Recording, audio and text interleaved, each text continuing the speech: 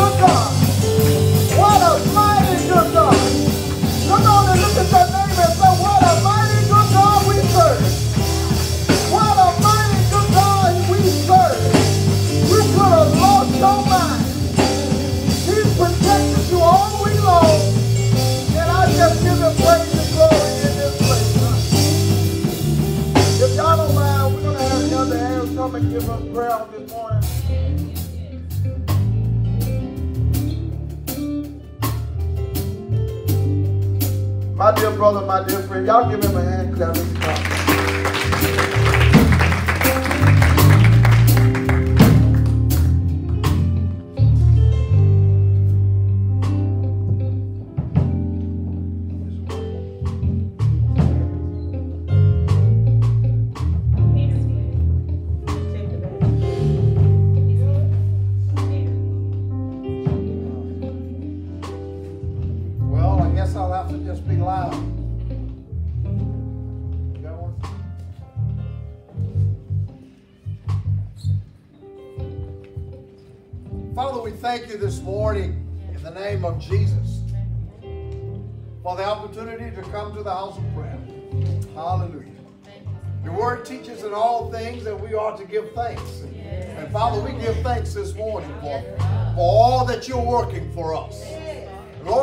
that we don't even know that you're working for us. We, we thank you for that as well.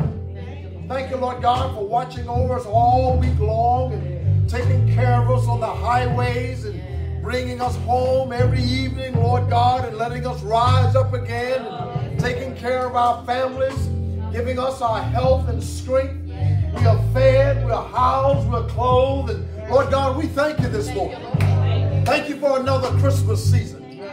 Thank you, Lord God, for doing it like only you can. Working it like only you can. Keeping us like only you can. Well, your word says that the Lord is thy keeper. Lord, we thank you that you have kept us. All of this COVID business, Lord, you kept us. Even me myself went through the hospital three different times and, I'm still standing here. Lord, I thank you this morning. Thank you, Lord God, taking me back home to my family and allowing me to still be here. Father, we thank you this morning. Thank you, Lord, for Pastor First Family and all that they're doing in the ministry. Thank you for every family that is represented in the church. Lord, we thank you for all the things that we hear and all the things that we see. Father, we know that you're still God. Things that are happening that we have no control over, but you're still God. You're still working it together for our good. And Lord, we thank you for it. Lord, we bless your name. Hallelujah.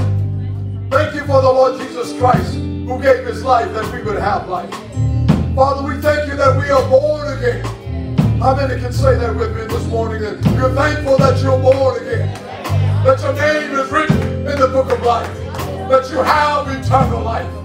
And this life is in your Son, Jesus Christ. Father, we thank you for it this morning. Lord God, we loose your word to go forth here today. Not only in this place, but in every place. We loose the will of God on earth as it is in heaven. We loose the goodness of God for us on earth as it is in heaven. In the name of Jesus. Father, we decree that 2022 is going to be a greater year for us than we've ever seen. More than what we've ever had, than what we've ever known. We refuse to live in the past. Father, in the name of Jesus, we choose to forget those things that are behind. And Lord God, we are reaching forth to the things that are before us. In the name of Jesus. Father, we speak in faith that we are healed this morning. Lord, we speak in faith that we are delivered this morning. Lord, that we are re-established this morning. That it's working together for our good this morning. It's getting better for us right now in the name of Jesus. Father, we refuse to have humped out heads. We refuse to complain. But Father, we choose to trust in the Lord. We choose to do good. For your word says, verily we shall be fed. Hallelujah. David said one day that I'm old, but I've been young. And I have never seen the righteous forsaken. Nor have seen begging bread. Lord God, thank you that we're not beggars. Thank you, Lord God, that you got greatness in store for us. In the name of Jesus. Hallelujah. Lord, we receive your bounty this morning. Hallelujah. In the name of Jesus, thank you again. We bless your name forevermore. In Jesus' name.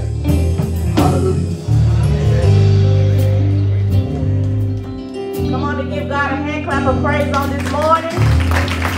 We normally get excited and say Jesus went to Calvary and rose in three days, but we're going to be excited today just because he was born. Hallelujah. And he reigns forever and ever. Hallelujah.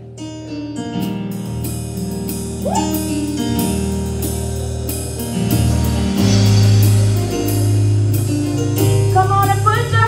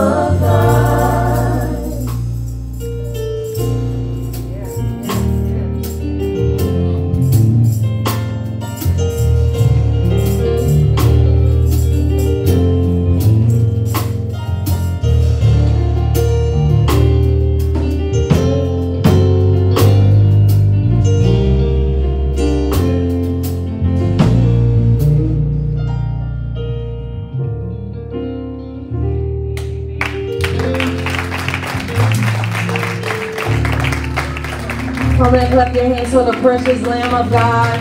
Oh, come on, you all can be better than that. Come on and clap your hands for the Lamb of God. Come on, if you love Lord today, I need you to clap your hands for the precious Lamb of God. We're talking about the baby that was born to save. We're talking about the Savior of the whole world. I need you to clap your hands and make some noise in the sanctuary. Oh, come on, Zion. I need you to lift up your voice. I need you to lift up your worship. I need you to lift up your hand. I need you to show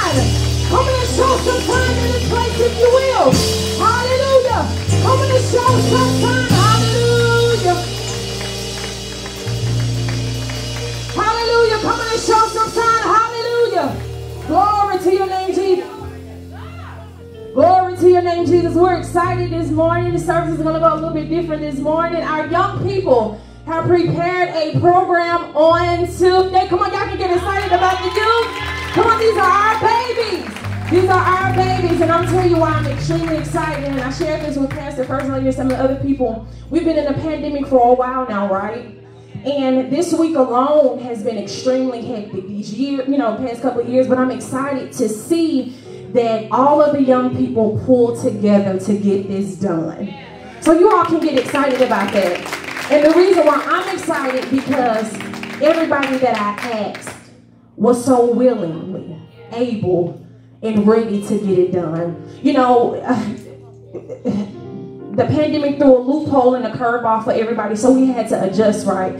So to see the excitement on our young people's face, to see that we were able to get something done and be able to do something that we've done before that we haven't done in a couple of years, it just brings joy and excitement to my heart. So if you all just please clap your hands again and just clap your hands and make you feel welcome. Some of them are nervous because they haven't been up here before, but I'm just excited that they're able to come together and celebrate the reason for the season, which is the birth of Jesus Christ. So I ask that when they do come up here, you all would just celebrate them and just make them feel welcome and make them feel appreciated and help them break this nervousness. Because again, these are our babies, right? They can be in the streets. They could have not showed up. They could have chose to be doing other things, but they are here today, and we're going to put this program on, and we hope that you all get into it with us and be able to celebrate the reason for the season. And Amen. One more time, clap your hands for New Genesis Youth.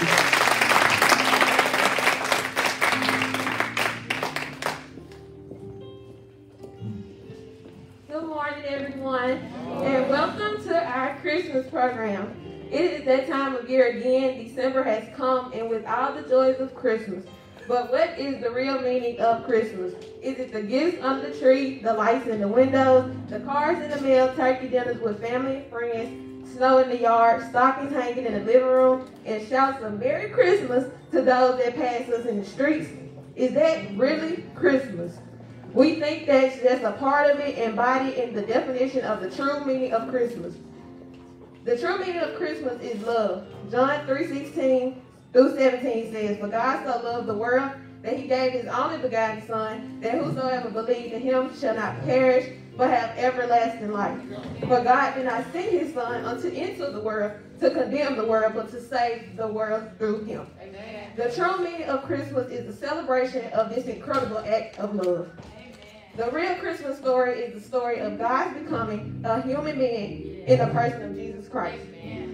Why did God do so? This, why did God do such a thing? Because He loves us. Why was Christmas necessary? Because He we needed a Savior. Why does God love us so much? Because he loves because he loves it itself.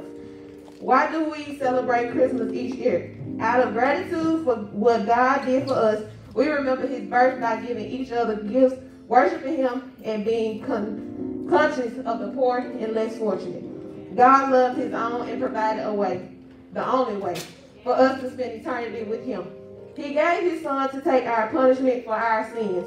He paid the price in full, and we are here for con- condemnation when we accept the, the free gift of love. But God demonstrated his own love for us in this. While we were still sinners, God, Christ died for us.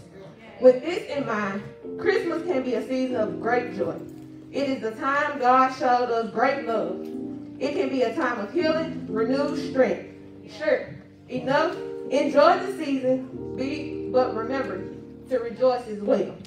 After all, the true meaning of Christmas is a celebration of God's ultimate gift, the birth of Jesus Christ, the, the child of God. Thank you.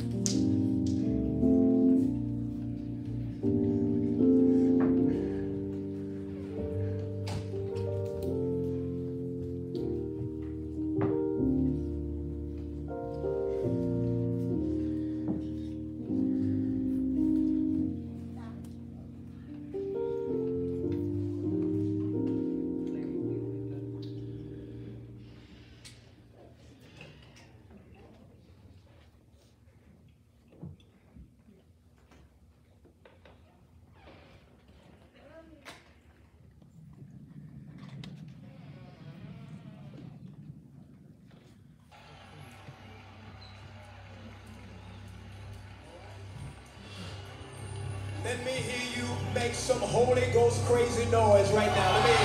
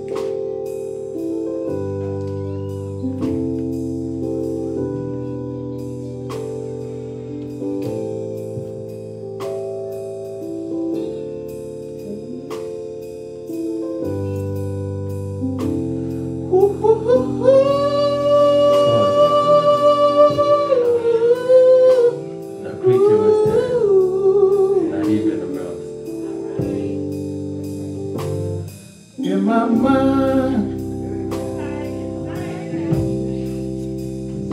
I want you to be free.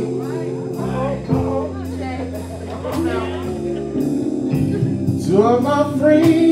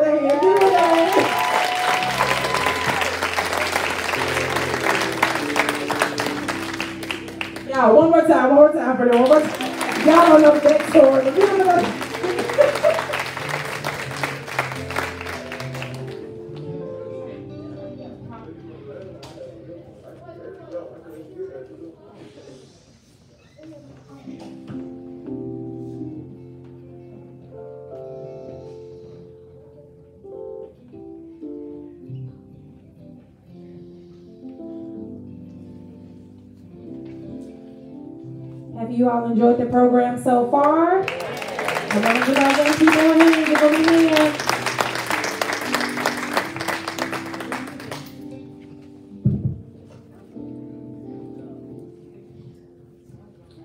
New Genesis youth are coming to you.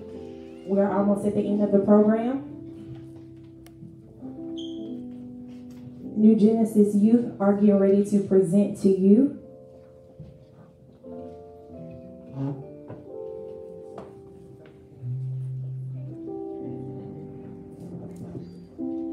nativity story, the greatest gift of all.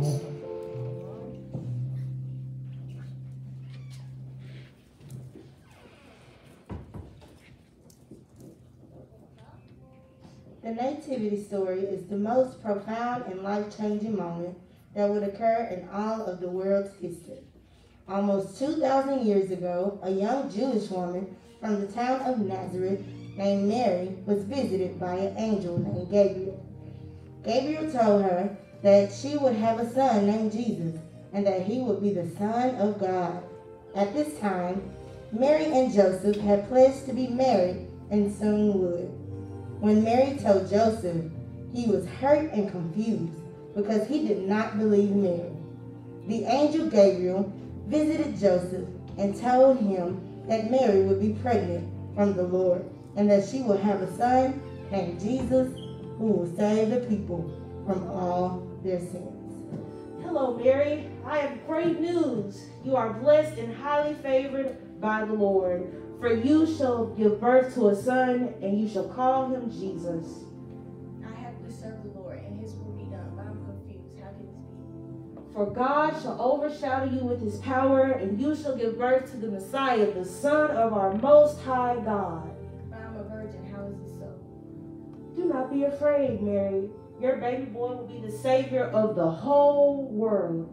He will be the King of Jacob's people. He will be King of kings, and so shall his kingdom live forever. Do not be afraid, for nothing is impossible with God.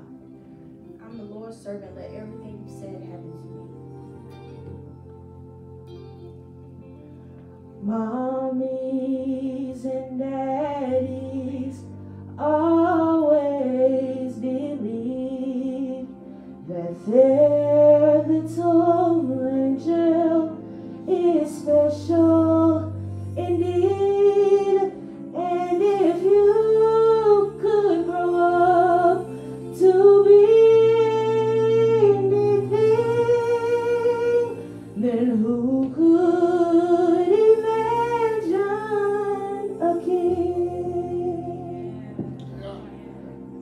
A teacher or teacher is what you could be, or maybe a fisherman out on the sea, or maybe a carpenter building. But who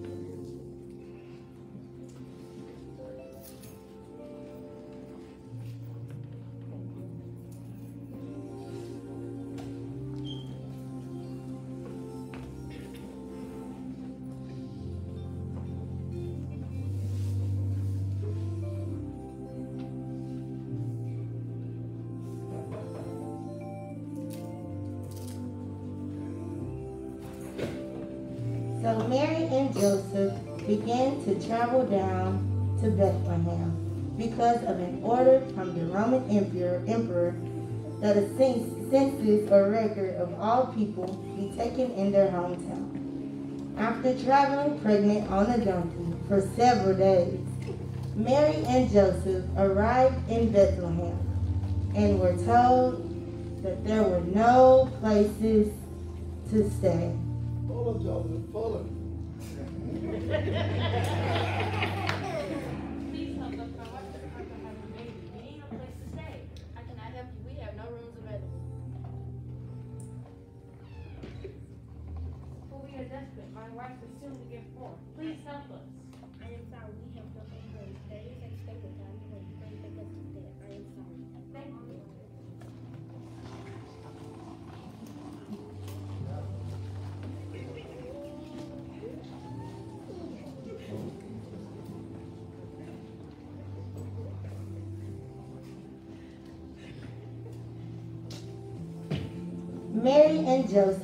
Continued their journey and came upon the stable. They settled down on the hay where many animals were sleeping. It was at this time Mary and Joseph would witness God's power and promise being fulfilled. In a stable, a manger filled with hay, there they would receive a baby boy who would save the entire world. It was at this moment Jesus was born. An angel soon appeared to the shepherds who were watching their flocks in the fields near Bethlehem. The angel told them the good news of the birth of the Savior and Messiah, Jesus Christ. The shepherds immediately went seeking to find the newborn king. After some time, three wise men saw a brilliant star in the sky that rested over where Jesus was born. The three wise men traveled from a distant eastern country to find the new king. The wise men continued to Bethlehem and found Jesus right where the star had pointed. They knelt and worshiped the Savior and gave him gifts of gold, frankincense, and myrrh. Where is the baby, the king of the Jews? We have been following the star in the east. We want to give him gifts and worship him.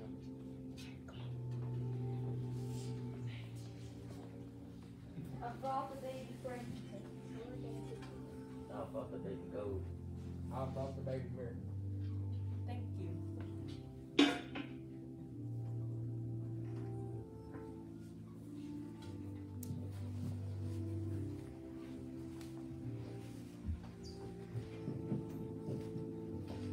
And they all said, Let us celebrate our newborn King. The birth of Jesus brought hope to many people. He grew in wisdom and stature and in favor with both God and man. He was the Son of God, sent to save all those who believe in him from their sins. Jesus is truly the reason for the season, and he is the gift that keeps on giving. So in this season, remember that God gave his only son just to come and save us from our sins. Always have a heart that desires to have love and give love to all of mankind. Giving gifts to others is what our Father has asked of us. For our God has given us an everlasting love that will live and save always and forever.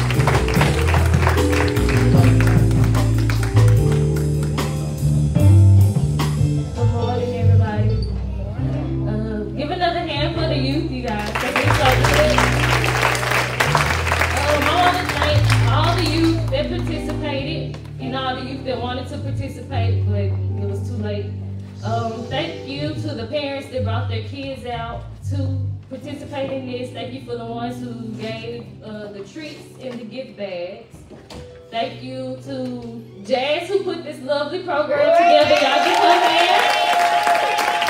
She in the back. Thank you to First Lady and Pastor for giving us this opportunity to do this. Thank you. And thank you to y'all for sitting here watching us put this together. thank you.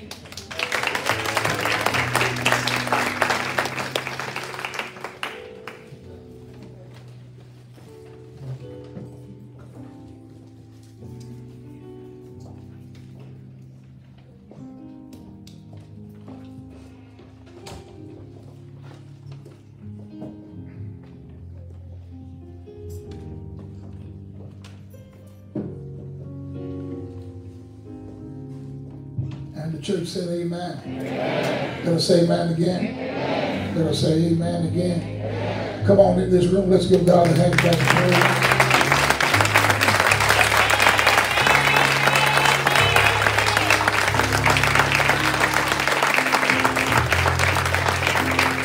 Come on, I think we can do just a little bit better than that. Come on, let's give God.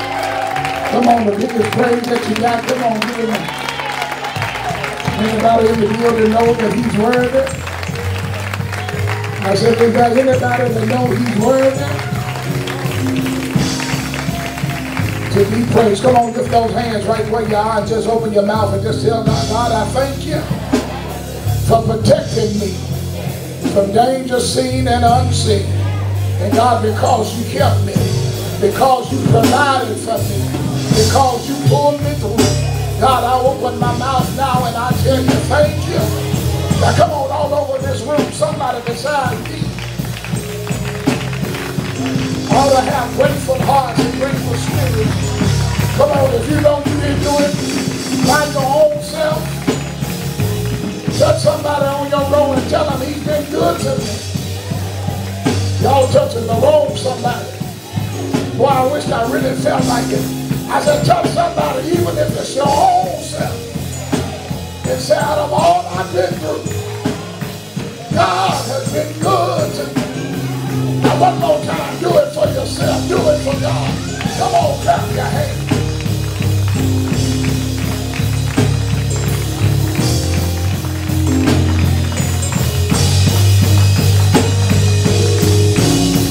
For somebody who waiting on God to do it, God said, I'm already doing it. He said, I just want you to act like it's already done. He said, you waiting on it to happen. He said, but it's in the process, it's in the process. For those of us that can operate by faith, can y'all do me one favor? If you wait on God to do something for you, come on, clap your hands like he's already done.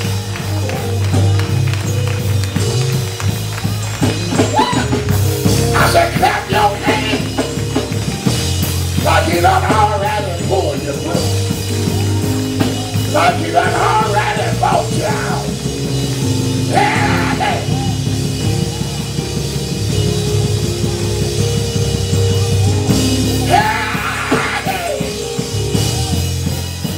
somebody and said, I'm already healed. I wish y'all I'm already. I'm already. I'm already delivered. I'm already set free. Now come on. Clap your hands like you're going.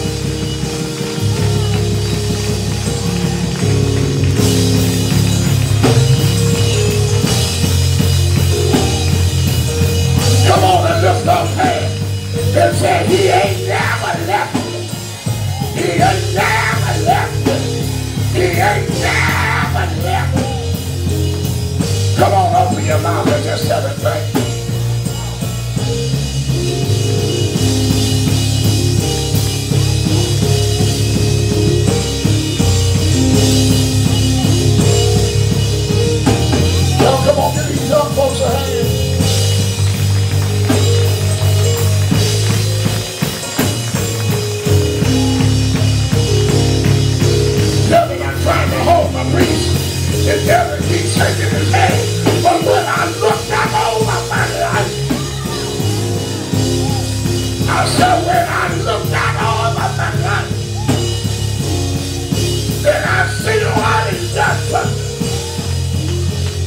I tell you how y'all. Y'all got it stupid. But every now and then I have to go down on my knees. I have to go down on my knees. Then I have to tell him thank you. Everybody, everybody here can open your mouth. You just gotta thank you.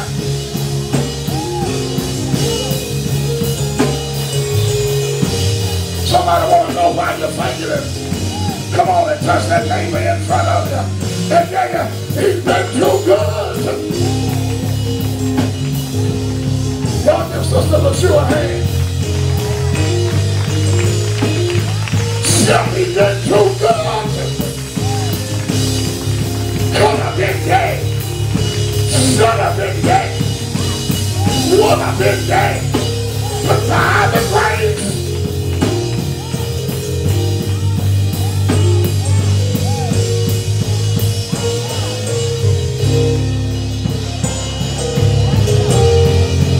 Y'all come on, give our hands up.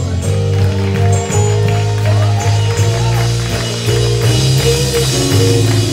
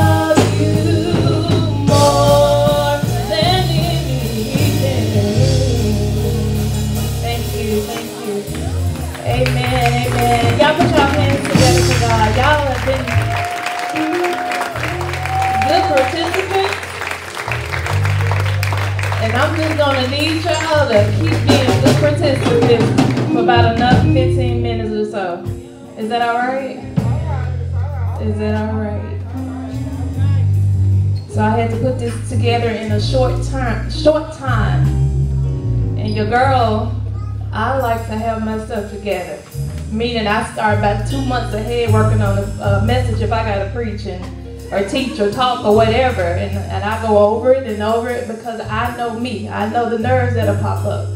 I didn't get to do that. Pastor told me last week.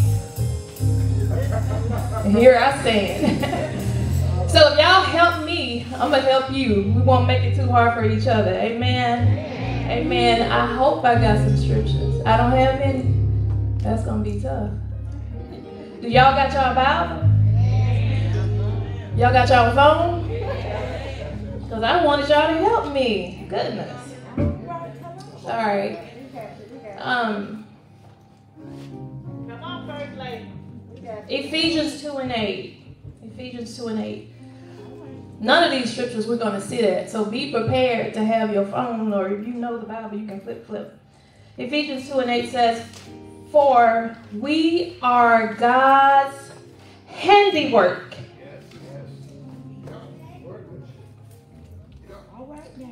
Created in Christ Jesus to do good works. Are y'all there yet? Which God prepared in advance for us to do. Y'all got that?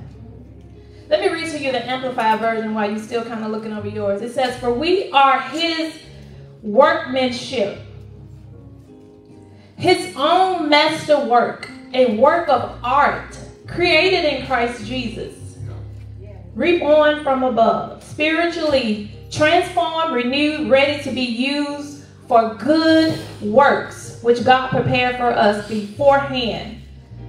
Taking the path which he set so that he would walk, so that we would walk in them. Living a good life which he prearranged and made ready for us. For a topic and subtopic, have a couple things. Number one, you were created to do good works. Amen. And my subtopic is understanding your assignment and fulfilling your purpose in God. So there's a slang term, um, I, I mean, is that how you say it? I've meant to ask Eddie how does it Lauren have say it. Is it mean? Okay, thank you, Mom.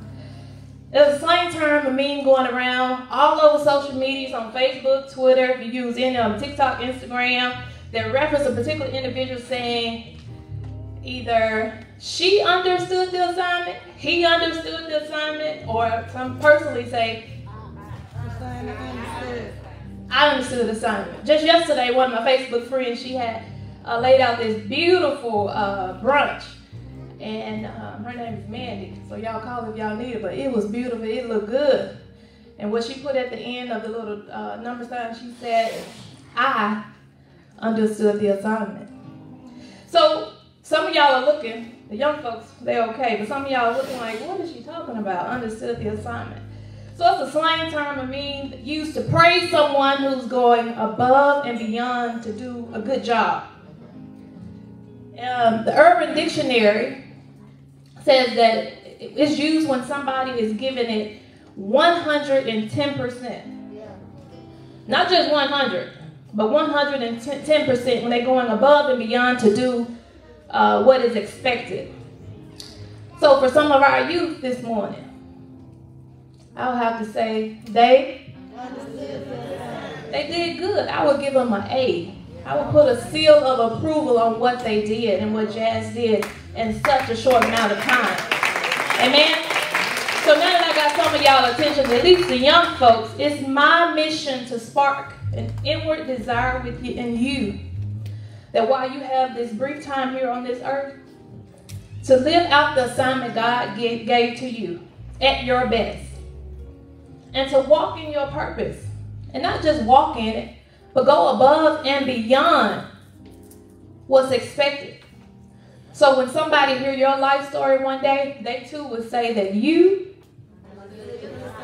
that you understood the assignment.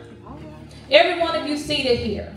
in this church today have a God given divine assignment. Amen. Regardless of how you feel about it, God created you with purpose and established you to walk in your divine assignment. It's up to you to know what God has called you to do. And it may not be one particular assignment, it may be multiple assignments. That's how I feel about my life. God didn't just put me here for one particular thing. Amen. Amen. He did to worship and praise Him.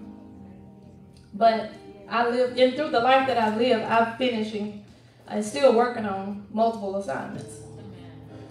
So in the Bible, we see young men, old men, women, even youth uh, fulfilling their God given purpose. So there's so many that I could talk about, but of course, time would not permit um, me to go through all of those in the Bible that went above and beyond and gave it 110%. But God spoke into their lives. And Jazz said something earlier. She said the youth were willing, ready, and obedient. That's the, that's the term I hear Elder Harris use a lot. And that's what you got to be. Number one, you got to be obedient. You got to be willing. And you are able, because He made you able to answer the call of God. So let's take a look at a few of God's chosen ones. That if I could sum up a social media post about them, it would say, they. All right. What about Moses? So let's turn Exodus 3, and we're going to skip down through that text. But if you got to go to Exodus 3.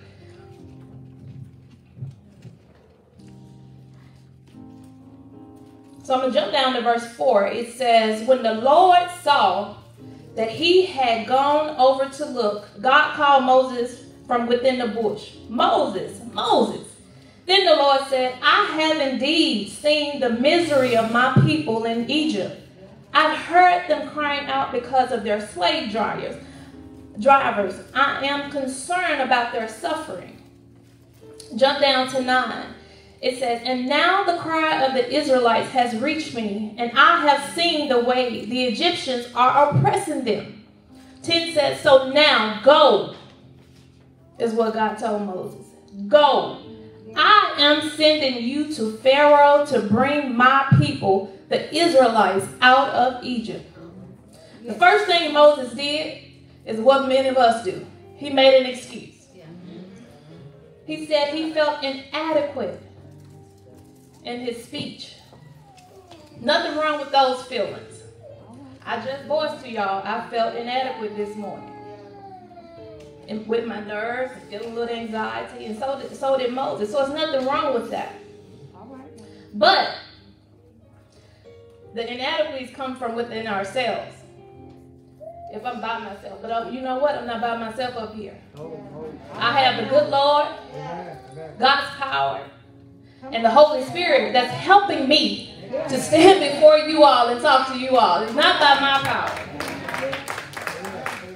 So when you have the Holy Spirit, God, and He'll send you some help as well when you're trying to work on an assignment. Just remember that. Yes. So you can do all things with God. Moses was, he lived to be 120 years old, but when he took on this assignment, he was 80 years old. Yes. So I say that to say, just because you're elderly, don't mean God can't use you. Just because you're young, don't mean God can't use you. If he said and spoke something into your life, don't give up on it. Trust him for what he said he would do. Moses accomplished his assignment of delivering the Israelites from bondage by following God's direction. And that's what you're going to do too. We can say that Moses, he did. What about Joshua? God created Joshua for the assignments to lead the Israelites across the Jordan River into the promised land. The one thing I like about this, he gave, when, when God said he wants something done, he wanted done. He initially gave this assignment to Moses. Well, we know that Moses didn't make it to the promised land, but he did finish the assignment of bringing the children of Israel out of Egypt from bondage. So when God got something he wanted done, If he if you don't get it done, somebody else gonna do it. He's gonna use somebody else. So God, God so God uh, created Joshua for the assignment of leading the Israelites across the Jordan River. So look at Joshua. If you can get there.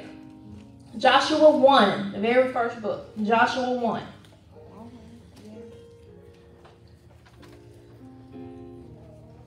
So it says, after the death of Moses, the servant of the Lord, the Lord said to Joshua, son of Nun, Moses, aid. Moses, my servant, is dead. Now then, you, talking to Joshua, and all these people, get ready to cross the Jordan River into the land I am about to give to them, to the Israelites. I'm going to skip down to five. It says, No one will be able to stand against you all the days of your life. As I was with Moses, so will I be with you. I would never leave you nor forsake you. Be strong and courageous because you will lead these people to inherit the land I swore to their ancestors to give them. God said He's going to be with you. You're not going to be alone. It may feel like some days when you're trying to get it done, you all by yourself. Family, you, you looking around, where are they? You would think they would be there to help you, but you in there by yourself. But he said, you feel like you're by yourself, but you're not. God said he'll be with you. And he told you what to do. Be strong, be courageous. Not in your power, not in, but in his power and by his might. So we can say, we know the, uh, the children of Israel we reached the promised land. So we can say that Joshua successfully led the Israelites into their God-given promised land. So he what? All right. What about David? He was a man after God's heart. God created David to shepherd and be a warrior to the children of Israel. If you got time, look at 2 Samuel. 2 Samuel 7. 2 Samuel 7, 8 through 9.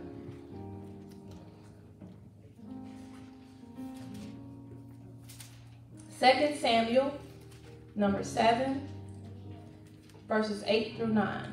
We'll read some more.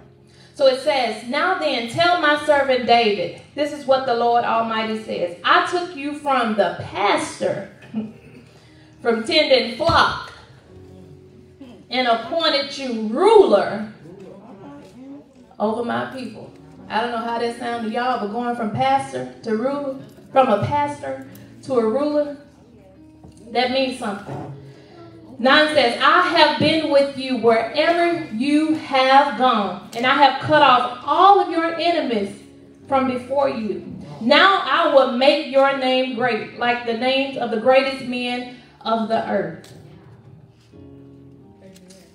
We can see in this text there are some uh, similarities in the sense that God told Moses he would be with him. Joshua, I'll be with you. And here again, he tells David, he said, I'll be with you wherever you go. And David, God was, uh, took care of David and cut him uh, from all of his enemy. We know Saul was trying to kill him and he was hiding and running, but God took care of him in the midst of all of that. First Kings, you don't have to turn, I'm going to read this right quick. First Kings 2, 10 through 11 says, Then David rested with his ancestors, and he was buried in the city of David. David reigned 40 years over Israel, seven years in Hebron, and 33 in Jerusalem. David was called to rule and reign, and he did what God told him to do. He what? All righty then. I'm going to skip on down and go to. What about Jeremiah? Jeremiah, you can turn to Jeremiah 1, but this one that I'm going to read, most of us know it. Jeremiah 1, um, Jeremiah was called to be created by God to be a prophet in the earth. Come on, yeah. So we had Jeremiah 1, I'm going to read it to you. It said, The word of the Lord came to me. Jeremiah talking, saying, Before I formed you in your mother's womb, I knew you. Yes, yes. God says, Before you were even made, I already knew you. Yes. And He already had assignment on your life. And if you don't know what that assignment is, or you're not trying to figure out what it is, that should worry you. Come on. All right now. God conscious, your, your conscience should be bothered by that because God said that I, I knew you. I already knew that I called you to do this. All right then. Yes. He says, Before I formed you in the womb, I knew you before you were born. I set you apart, is what he said. So you wonder why sometimes your life don't match up with everybody else. You can't go where everybody else can going, and you can't do what everybody else is doing. You ain't got what everybody else got. You can't buy what everybody else buying. Because you paying your tithes, you're doing this, you're doing don't don't compare yourself to others. When you try to do that, you you you minimize your opportunities from walking in your divine purpose. Just let God take care of you and do what He told you to do, and don't worry about the other folk. He said, I appointed you as the prophet to the nations. Sovereign Lord, I said, this is what Jeremiah said. I do not know how to speak. I'm too young. Hmm. I don't know how old Jeremiah was, but he says that he was he was young, and he said he was too young. But this is what the Lord said to him in verse 7 of Jeremiah 1. Do not say, I am too young. You must go to everyone I send to you and say whatever I command you to. Don't be afraid, as young folks say. Don't be scared. Here it is again, we see.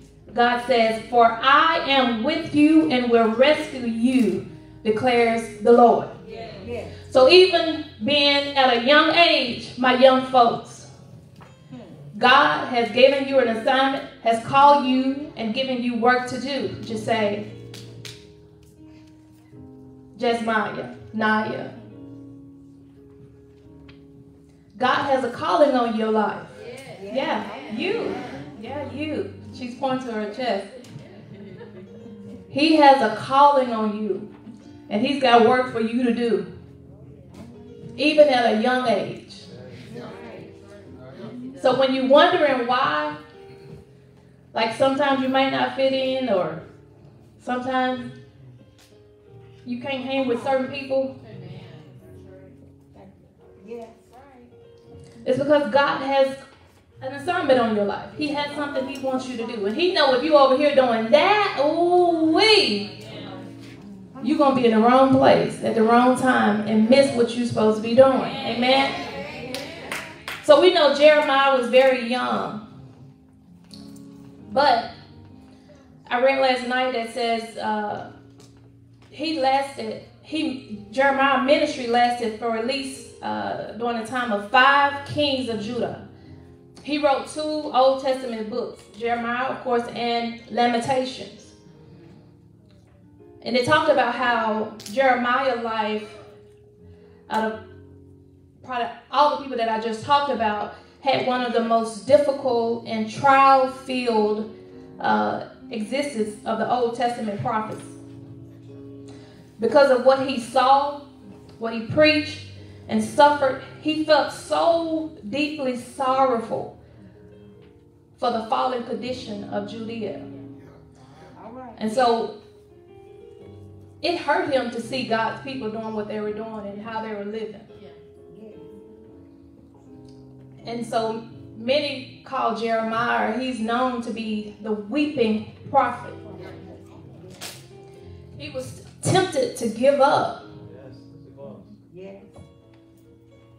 but he knew he had to keep going because there was a call on his life.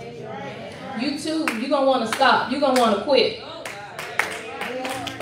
Out of all my assignments, I can assure you, there were some days that I just said, I, I, I don't know if I can do it.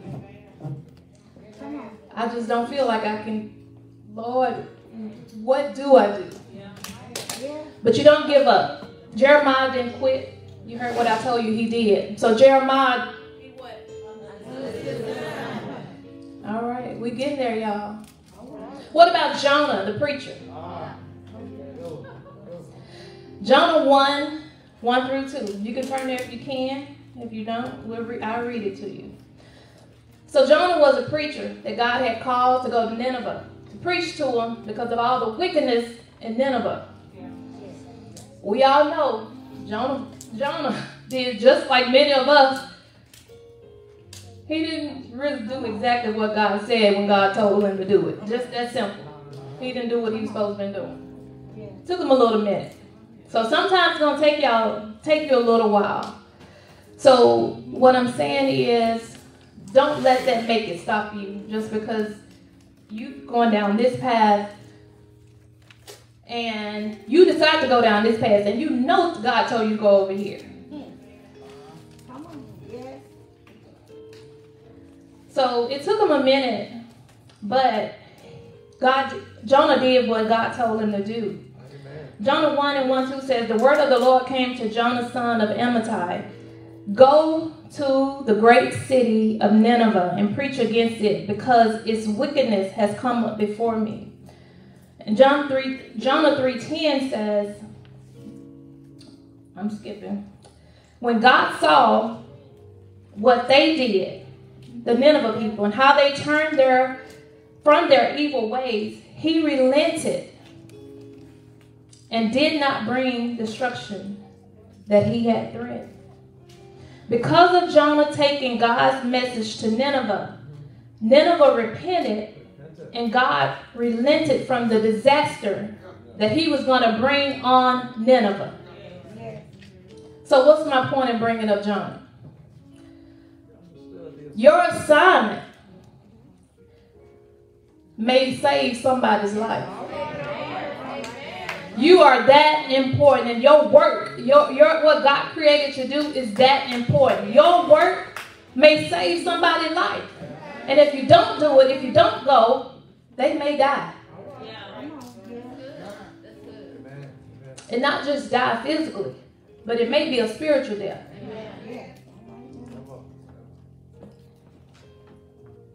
So don't take your assignments lightly. So Jonah, what? Amen. So there's another preacher that I know personally, and he deserves to be mentioned today. Of all these great men that I just talked about, his name may not be in the Bible. It may not be on the Walk of Fame in California, wherever it is, but uh, one day it's going to be in the Lamb Book of Life.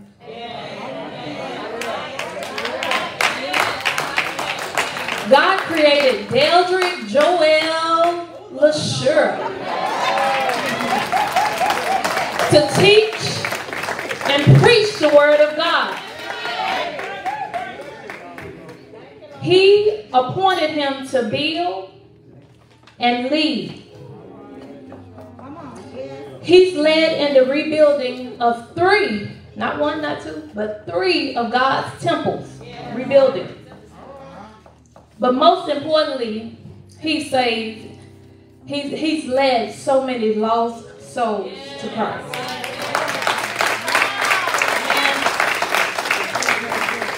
Through his teaching and his preaching. So I believe, New G, y'all can stand with me and say that our pastor Deldrick, he understood the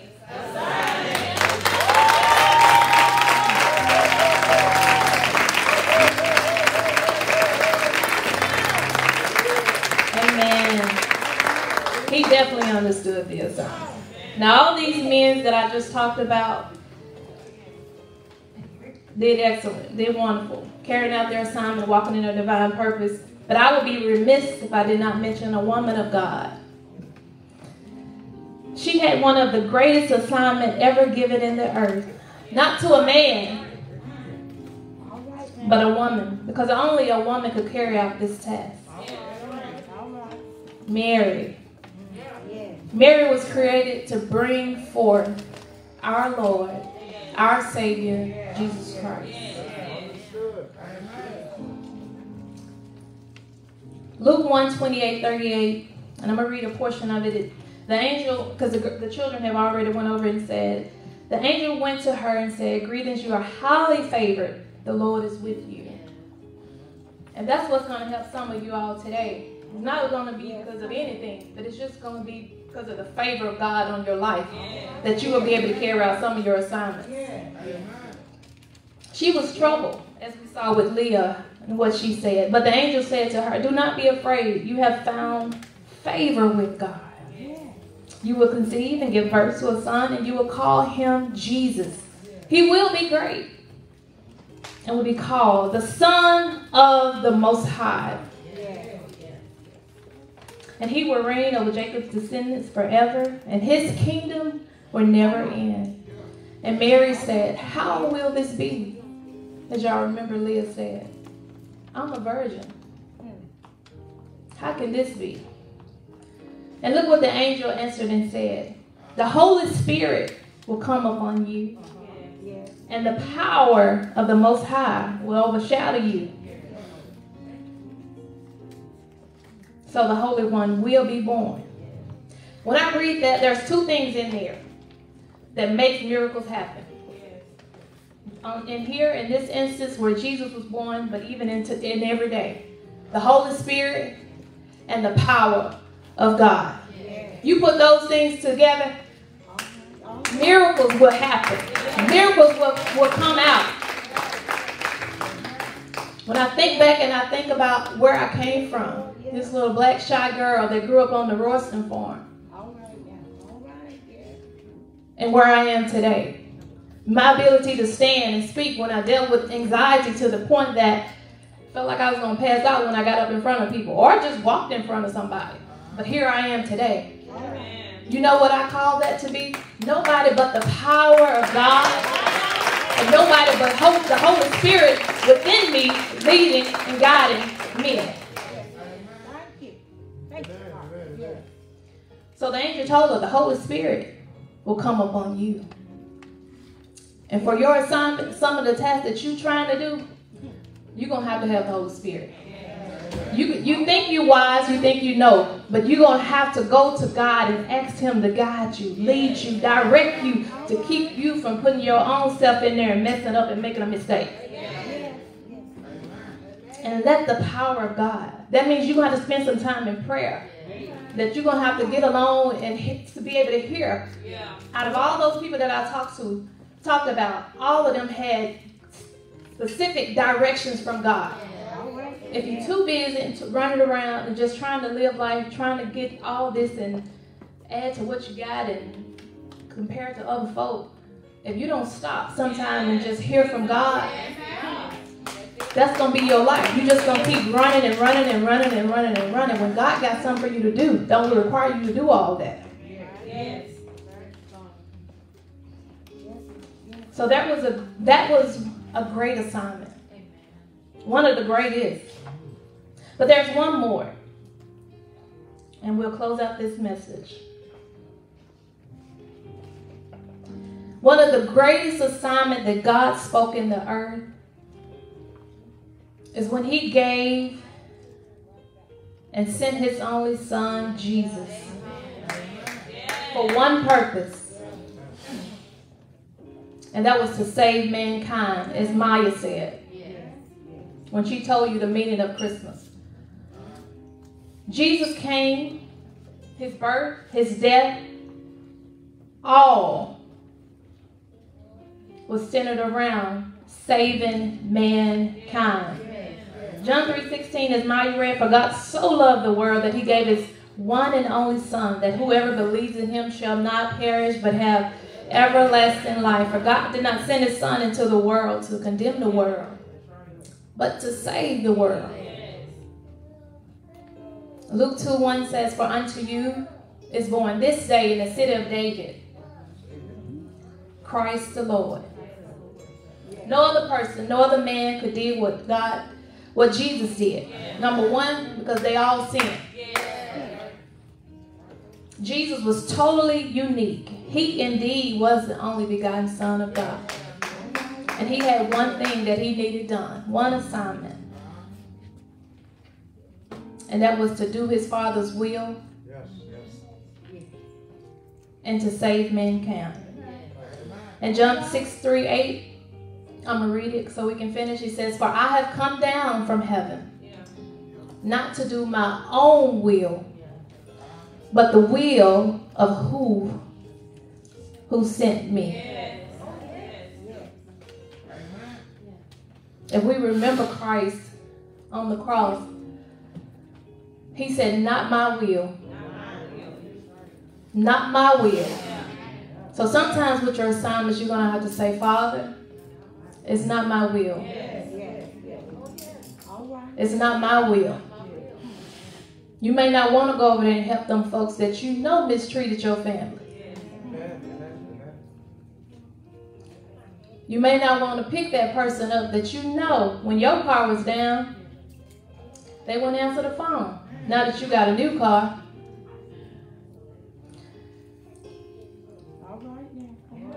you may not want to go and pray for the people that you know lied on you.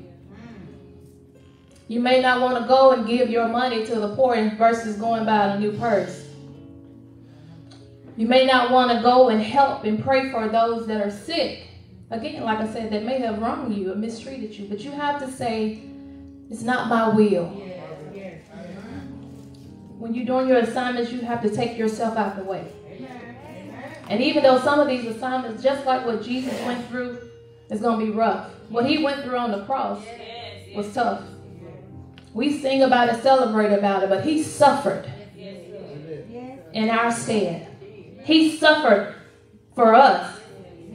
But he said, Not my will, but let thy will be done. My last text says, it's 2 Corinthians 9 and 15. You don't have to turn it. I'm going to read to you what Paul said. Paul said, Thanks be to God for his indescribable gift.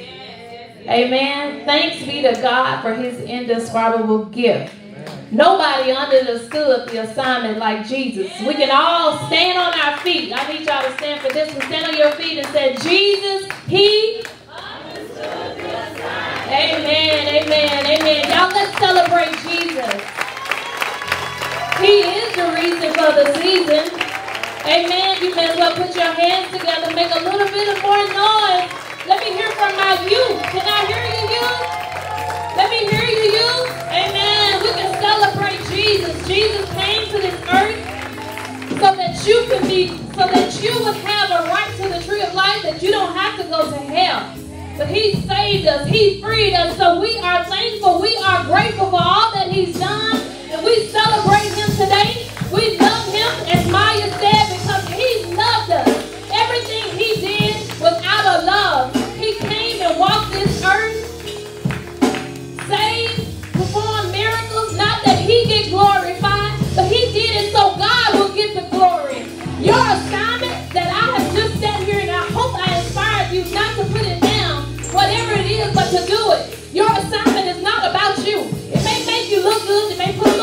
Your pocket and what you're doing, it may make you feel good. But your assignment, the assignment on your life is all that God gets the glory. And that's why we're here today. That God gets the glory, that He gets the praise, that He gets the honor, that He gets the worship that He deserves. And He is so deserving. He is so deserving of everything,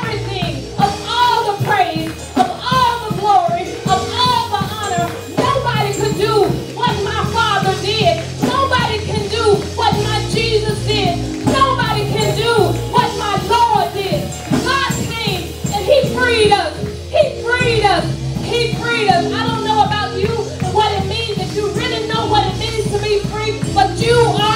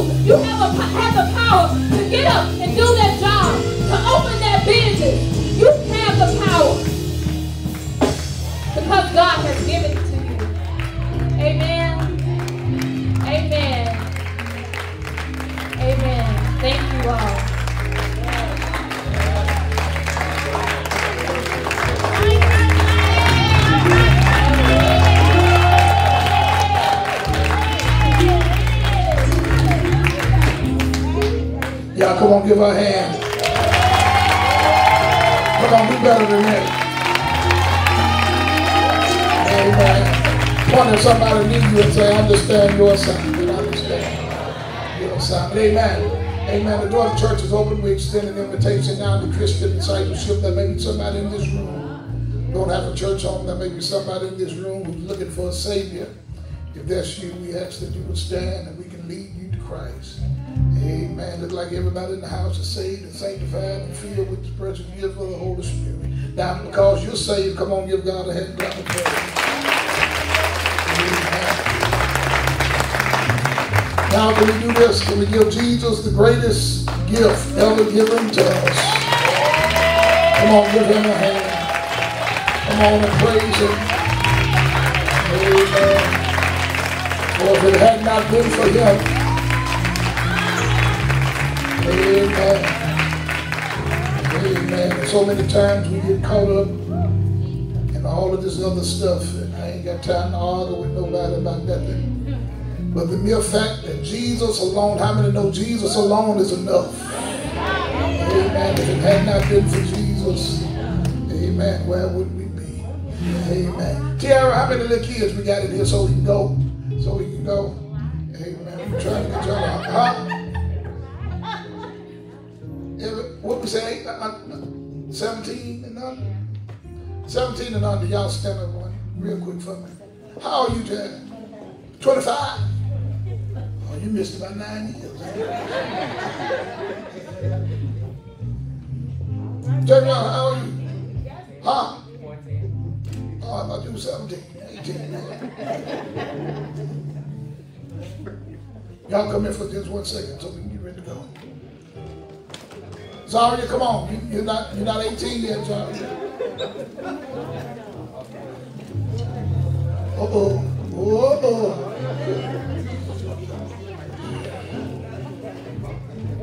Robert, you got your wallet with you?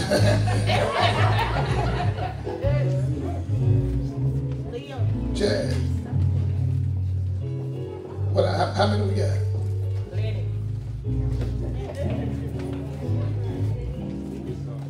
You move so fast, boy, I think it's two of you right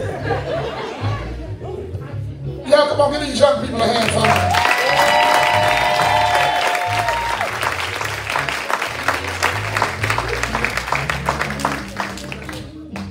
Y'all gonna sit out, Y'all ain't getting no, no more now. When I get to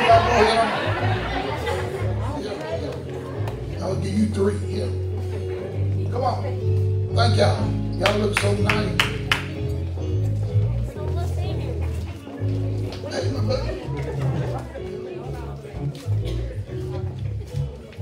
Leah, you let me devil don't pass you by. hey, how y'all doing? Y'all all right? Good to see you. Thank you. I like the coat. Here you go. Here you, here you go, man. Thank you. Here you go, little man. You know, you got a phone.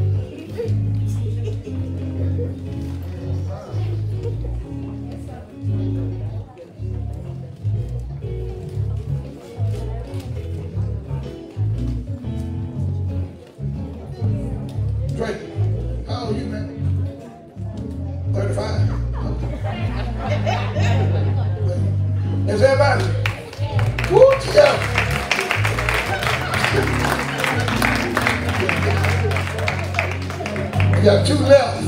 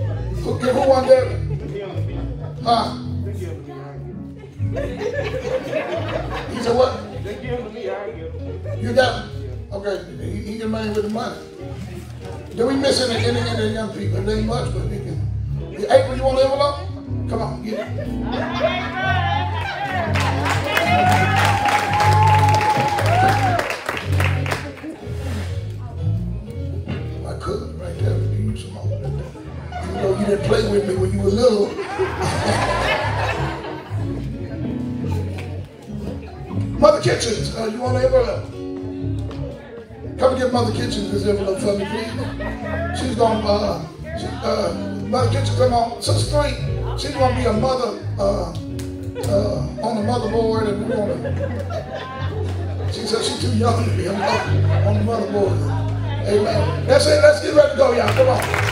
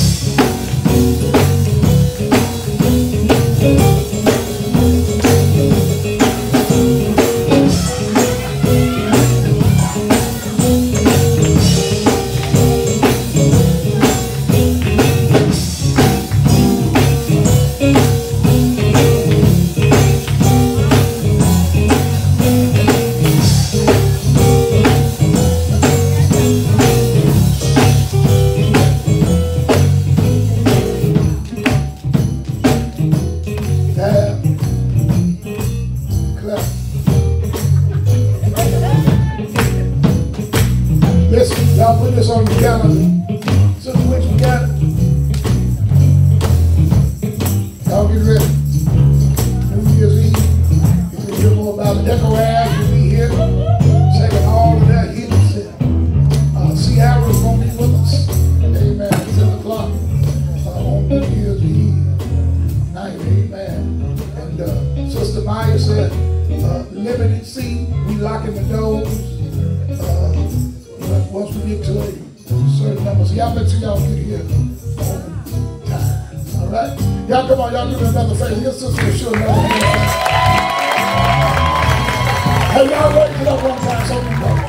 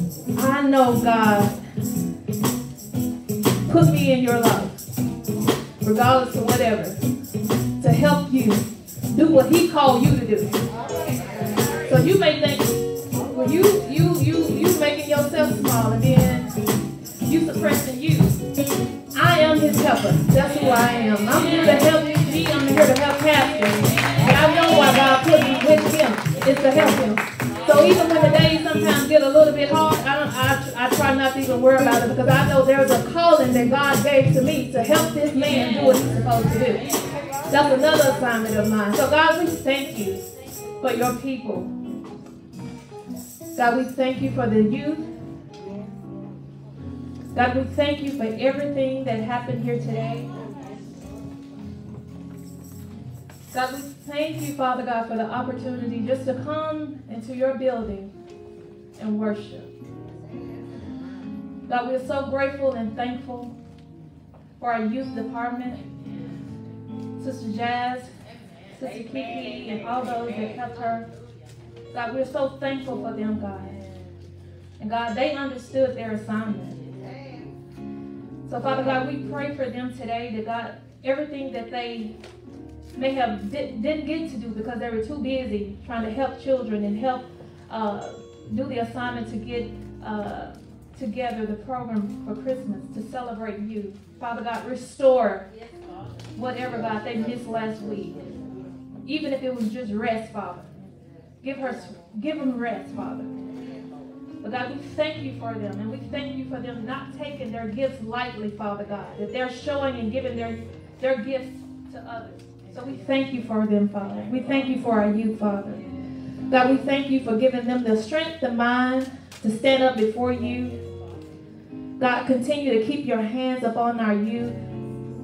not just in this place, God, but as they go out this place and they go into their lives as they grow up. Father God, touch them. God, just as you touched David and you called him and you appointed him, you calling them and you appointed them even at a young age, Father God. So let them not lose sight of their calling in you, Father. And not just the youth, but even the old, the elderly, Father God, all that are here today. Dear Father, we thank you for the word that has gone forth. We pray, God, that it will help somebody, that will lead somebody. God, we thank you, oh God, for Pastor, for his healing. And God, we believe in for full restoration and wholeness. That he'll reach wholeness, Father God. So, God, we continue to pray for him and we thank you for him, God. God, we continue to pray for those that have been affected by the storms, who don't even have homes to go to. And some of us are worried about a gift. Some don't have clothes to put on their back. So, Father God, have mercy. Please, Father. And God, it may be somebody here in this place today that's crying out to you for mercy, grace, don't know what to do, don't know where to go. I don't know who they are, but you know them, Father. God, in this week, in this day, speak to them, direct them, order their steps, Father. Give them specific directions just as you gave Moses and as you gave Joshua, as you gave David. And God, just as you did with them, God, be with us. Father God, we know you said you'll never leave us nor forsake us. But sometimes, Father God, we feel alone. We feel like we're trying to do it by ourselves. But help God. Remind us, God, that we're not alone. God, as we leave from this place, but never from your presence, as we go into this season, God, continue to let us think on all those things that Maya said and that we remember that this whole time of the year is about love. And that you, Father, gave us the greatest gift of all that you loved us so that you sent your son, and we thank you, Father. Be with us, protect us, keep us safe, and bring us back at this place when you have appointed for us to be here. We thank you, we love you. In Jesus' name, amen. Amen. Thank you, Jazz. Thank you, Youth Department. Thank you, Praise Team.